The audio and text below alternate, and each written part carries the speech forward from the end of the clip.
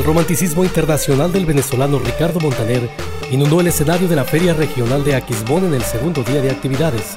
que comenzaron desde temprano con la emoción de las competencias de cintas, gallo enterrado y jaripeo, además del desarrollo del derby gallístico en el palenque. Por la tarde, ya en los terrenos del máximo evento, se dio paso al talento y a diversas expresiones del arte, con el programa del Sábado Cultural de Feria, que tuvo como invitados al grupo de rap Bullet Son de Ciudad Valles, al saxofonista Johnny Alonso y al grupo de teatro del Centro Cultural de Aquismón.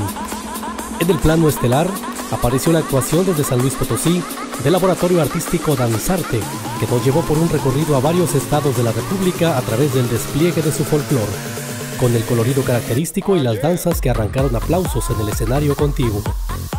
Y así llegó el momento culminante de la noche, cuando en el gran foro, y coreado por un público que ya le esperaba, apareció el cantante Ricardo Montaner, interpretando sus éxitos que formaron un amplio repertorio y prolongó una actuación inigualable durante 120 minutos.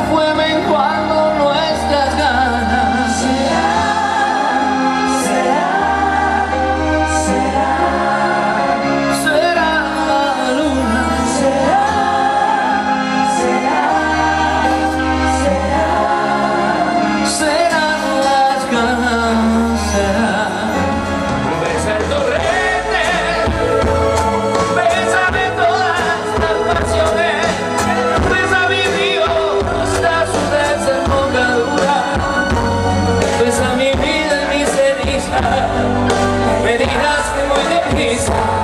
es amistad.